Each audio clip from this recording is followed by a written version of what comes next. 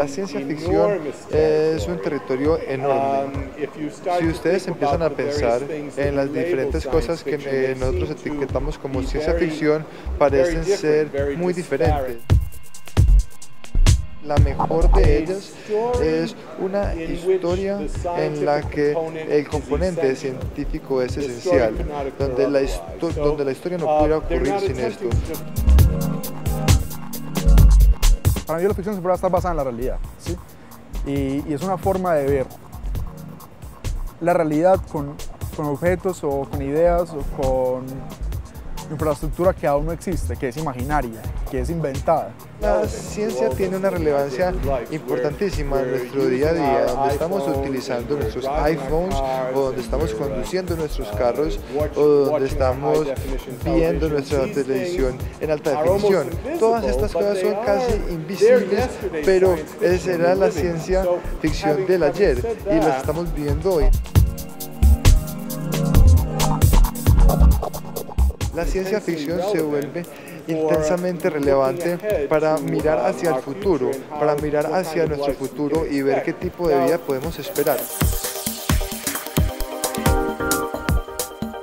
¿Qué ha sido Medellín es ficción hasta, hasta el momento? Estuvimos, digamos, debatiendo varias, varias posibilidades o, digamos, primero identificando como cuál era la realidad de la ciudad en el lado de movilidad y transporte y cómo a partir de ahí empezar a ficcionar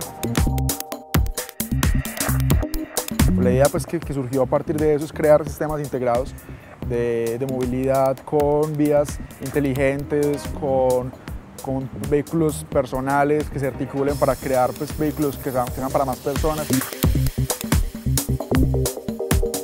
Con todas esas ideas que se, tomaron pues, desde la primera sesión, van a ser pues como ya como concretar un proyecto específico de realización audiovisual en animación 3D y, y los animadores pues van a concretar para poder llevar pues como a un, a un producto finalizado. Habiendo dicho esto, Medellín ofrece un entorno único. Tienen esta ciudad en un valle, tienen los barrios en, los, en las laderas de las montañas, en la periferia y la, y la selva. Parece que si esto fuera como un laboratorio perfecto para una buena historia de ciencia ficción, podemos tomar todo esto y podemos utilizar las técnicas de ciencia ficción, pero tomándolas de otro país y examinando qué es lo especial de Medellín. Yo creo que es un laboratorio excelente para una historia de ciencia ficción. perfección.